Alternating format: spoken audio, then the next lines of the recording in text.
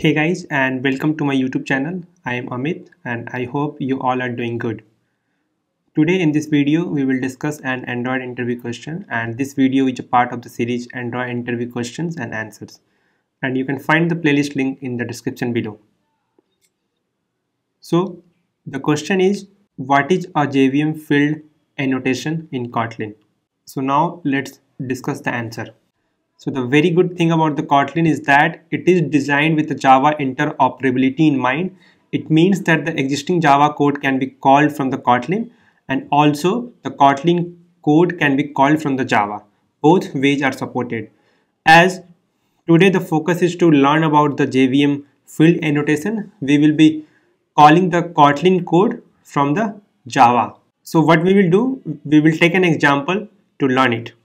So assume that we have a data class session in Kotlin like this. And now we can create the object and get the name in Kotlin like this.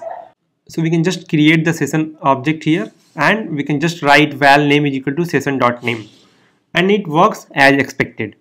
But what if we want to create the object and get the name from our Java code?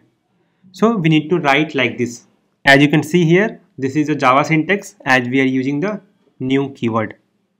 And then string name is equal to session dot name. So here it will give us an compilation error.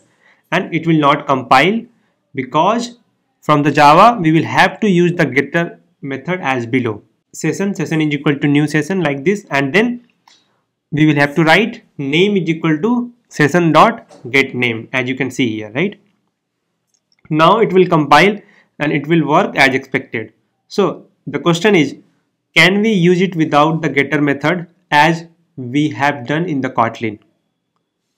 The answer is yes and the solution is JVM field annotation. So if we want a field to be used as a normal field and not as a getter or a setter, then we will have to tell the compiler not to generate any getter and the setter for the same and expose it as a field by using the JVM field annotation. So let's update our data class session like this. So here I have highlighted the JVM field which I have added in this data class before the field name.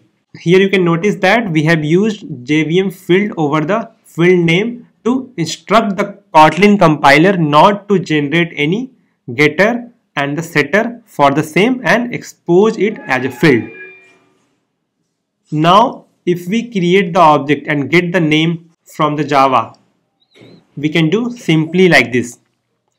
Create the object of the session and simply string name is equal to session dot name. That's it. Now it works perfectly. It will compile as expected as the Kotlin compiler will not generate any getter and setter for the same and it will also expose it as a field. So this is how we can use the JVM field annotation in Kotlin. So now we know the answer to the question what is a JVM field annotation in Kotlin. That's it for now. Please like, share, comment and subscribe to my channel. If you want me to create more videos on a specific question, let me know in the comment section. I will be happy to do it. Have a great learning ahead. See you in the next video.